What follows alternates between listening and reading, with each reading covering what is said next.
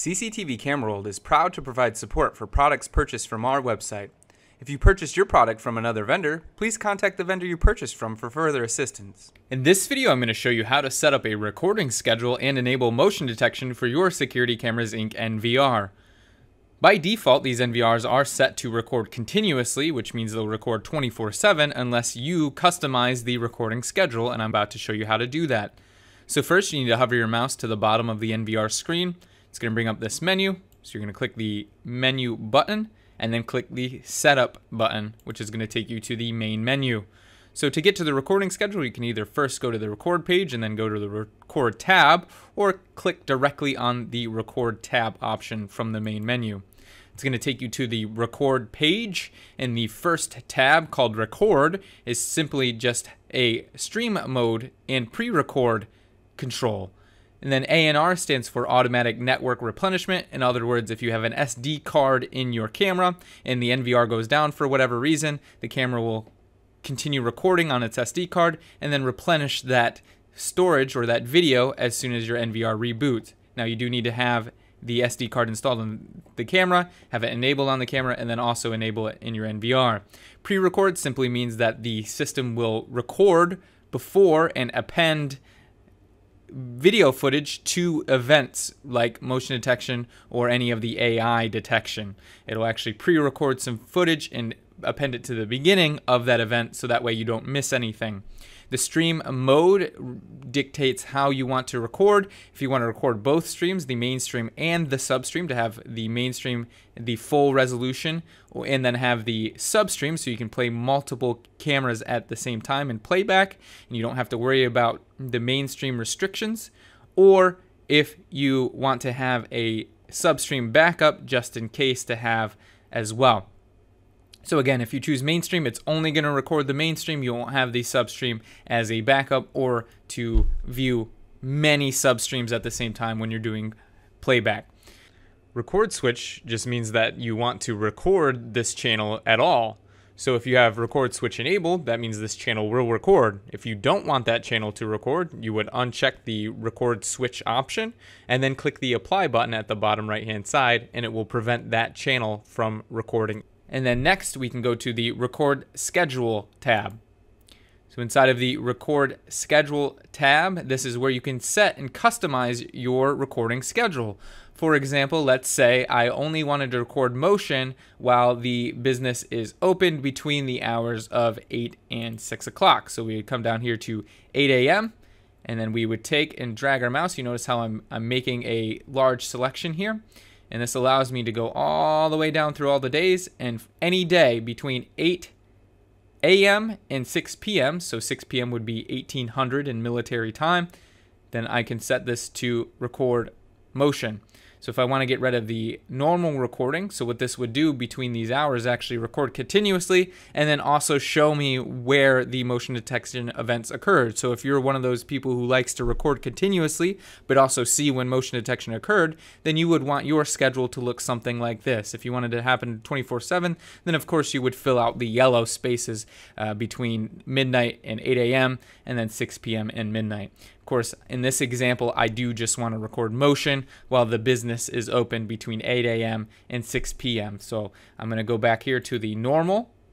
And what this will allow me to do is, again, draw this section, draw this rectangle, which is covering the section of the schedule. And what that's going to do is get rid of the normal recording. Uh, if you had any input or output, is, these are alarms. These are external alarms. If your NVR has an alarm panel, you can put those in there. Or if you have any PIR cameras that have a passive infrared sensor, or you have those uh, connected to your NVR. So the main two are going to be normal and motion detection. AI will cover in another series of videos, and that has a different recording schedule. So I've created my recording schedule. I'm going to go ahead and click the apply button. So basically what this means is during the day, during business hours between 8 a.m. and 6 p.m., the system is only going to record on motion. During the nighttime, when the business is closed, it's going to keep a 24-7 recording schedule.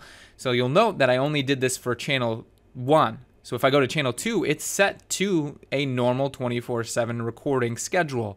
So you can customize your channels and have them be configured in different ways. So if you have a camera that's in a particularly critical location, like the entrance to your home or business, then you can of course leave that camera set to a continuous recording schedule. But essentially what this recording schedule is attempting to do is save some storage space during the day when I know that I will only want to see events and you could have this schedule be flipped, right? You could do continuous recording while you're open just to have that footage be available. This is especially useful in retail. And then you could have it set to motion just in case anybody breaks into your business. So the this is probably the most common way to set a recording schedule, either this way that I have it set or the opposite where you have motion during the nighttime and then you have continuous recording during the day. So I'm going to click apply again just to make sure that it's saved. It says nothing changed. And then I actually want to copy this to the rest of my channel. So I can go down here, I click the copy button. It brings up the copy or parameter copy window. And then I can choose if I want to select that to certain days, which is the source channel, right? I, I can choose the source channel and what days I actually want to copy. And then down here, I can choose the target channels and I want to select all. So I'm copying this recording schedule to all. So I'm going to click the copy button. It says the copy is successful. I'm going to click the apply button. It says it saved the parameters successfully. So then when I go to each one of these camera, each one of these channels, it should have the recording schedule that I set. And it does. Like I mentioned, you can set a custom schedule for each channel. You don't need to make the schedule be the same for all your channels. So now that I've actually enabled the recording schedule to only record on motion during the day, I need to go ahead and enable motion detection. So in order to do that, there's actually two places where you can manage motion detection settings. So the first place to actually enable motion detection and customize your motion detection settings, you need to go to the channel tab. So I went from record to the channel tab. Then in the channel tab, there's another sub tab called motion. So I'm going to click on motion to get to the motion detection settings. And in here we can just see that I have six cameras connected. The setup button is going to be the region detection settings. The switch setting simply means that motion detection is enabled for that channel. If you don't want to record motion or have it detected for a channel, simply uncheck that and click the apply button. Sensitivity, pretty self-explanatory. This is how sensitive you want your motion detection to be. And then SMD by recorder stands for Smart Motion Detection by Recorder. So essentially you have four options here motion, which means it will trigger and detect on any type of motion. Pedestrian, which means that the motion detection will attempt to only ever trigger if a pedestrian is present. Vehicle, again, it will attempt to only ever trigger motion if a vehicle is present. And then vehicle and pedestrian, again, will only attempt to trigger if a vehicle and pedestrian is present. Again, it's not perfect, but it will attempt to only trigger when these things are present. So if you leave it on motion, it will pretty much trigger on most things. Uh, with these other settings, the algorithm will attempt to only trigger when those objects are present. So just for the sake of this example, I'm going to leave everything set to the default motion, but you can, of course, customize these for certain areas. Let's say you have an area where you know only pedestrians should be present, then you'll do that, and vice versa for vehicles. Or if it's street facing, then you can do vehicles or pedestrians. So the other important thing to do in this would be the region settings. And like I said, those are accessible by clicking the setup button here, this gear icon. So when I click that, it's gonna bring up this and then you can see you also have your other options here as well. So let's say I didn't care about any vehicles or anybody on the left hand side here. I'm gonna click and drag. I'm holding my mouse button here to then get rid of this. Let's say I really only care about this uh, car here. So I'm going to actually paint the edges around here. You want to give a little bit of leeway. That way the camera has a chance to detect if anybody's there.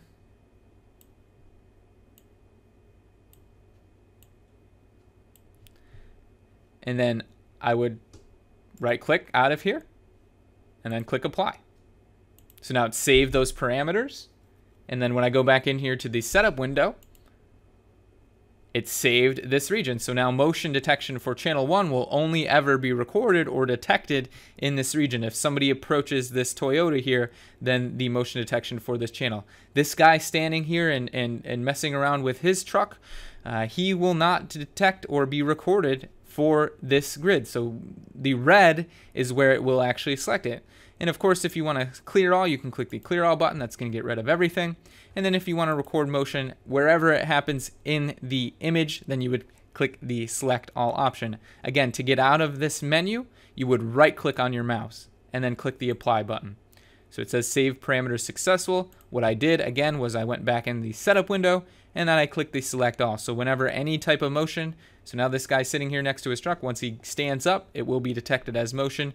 This truck moving here on the left hand side will also be detected as motion. So again, like let's say I didn't want to get motion alerts just from vehicles crossing there, then I would of course change that. Except I want to get motion for everything, so I'm leaving it to the whole grid screen.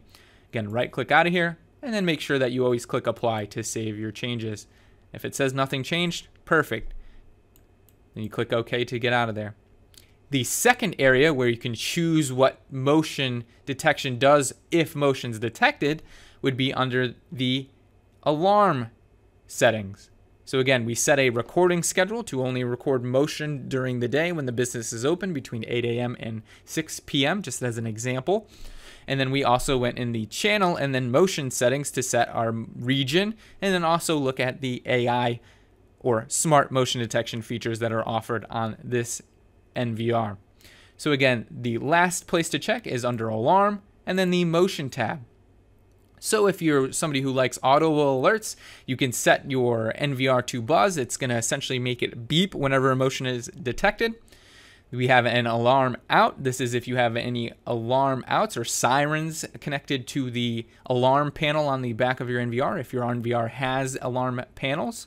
The latch time is 10 seconds, which means that it will buzz or alarm out for 10 seconds after the alarm is triggered be from a motion event. So you can change that from 10 seconds to 20 seconds to 40 seconds or one minute. Record, of course, this is going to record based on your schedule. So if you turn recording off, then when motion is detected, it won't record for that channel. So you're going to want to leave that checked if you want it to record motion. And then if you have a cameras that are near each other or if motion's detected at one camera, but you also want to record another camera if motion's detected at that camera to have as a failsafe, then you're going to want to come down here, check this box, and then choose the other cameras that you want to have recording. So if you check the checkbox, it's going to highlight all of them. If you uncheck it, it's going to uncheck them. And then you're going to want to make sure that you leave the channel that you're actually wanting to record blue so it will record that channel. So let's say I had channel 1, but channel 3 was a nearby camera that I'd also want to record in case the person comes near channel 1.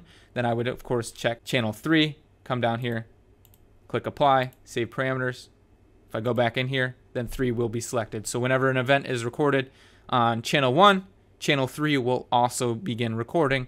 You could do that on channel 3 as well. You know, select channel 1. So then both cameras will record anytime an event is recorded on either camera. Um, so that's what that cogwheel is useful for. So I'm just going to uncheck these and then click apply.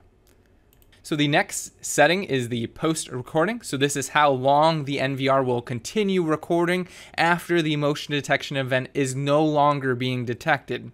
So while the motion detection event or whatever is triggering the motion is still in frame and still causing motion to be detected, it will continue recording regardless of this post recording number. This post recording number is how long it continues to record after the triggering event has left the view or is no longer moving. So it's going to be a combination of those two things because it's going to try and record from the beginning of that event until 30 seconds, but it will be refreshed if it detects that motion event still continuing. So this is the post recording setting. So what the show message option will do, if you watch the live view video, it will show that message in the live view screen. I'll show an example of that now. So if I right click out of here, and I hover to the right hand side and click the eyeball icon here, we can see that it's showing all of these motion detection messages. So each one of these is a message that you configure in there. So again, I'm going to go back to those settings and then go under the alarm and motion tab. So if you don't want to see those messages for any particular channel, then you would of course disable those here and then click the apply button. We keep scrolling over to the right, if you have email notifications set up, then you can, of course, leave that checked for that camera. FTP picture upload, again, if you have FTP set up and you want to send a snapshot to an FTP server. Video, same thing. If you have an FTP server set up and connected to the NVR. Picture to cloud, if you have the Google Drive or Dropbox settings enabled, then you could upload a snapshot. Video, same thing, to the cloud. Full screen, essentially what this means is if an event is detected and you want it to be in a full screen view on the monitor, then you would select that. So for example, if I were to check this, click apply, and then motion were detected on channel one, then it would bring it into full screen view. So I can click back in here to the setup menu, go back into the motion tab, scroll back over, so that's what the full screen setting would do it, when motion is detected. It'll bring that camera into full screen view. Last but not least, you can also do voice prompts if you have any added to your NVR, and you could have that sound out of the NVR through the HDMI port. And then there is a motion button that will take you to the motion settings that I showed you earlier. So you can manage these motion settings from the alarm and then motion tab as well if you need to. Again, adjusting the sensitivity or adjusting the region settings if you really want to, or enabling the smart motion detection setting. Hopefully this video helps you set up a recording schedule and motion detection. Thank you for watching. If you're watching on YouTube, don't forget to like, comment, and subscribe.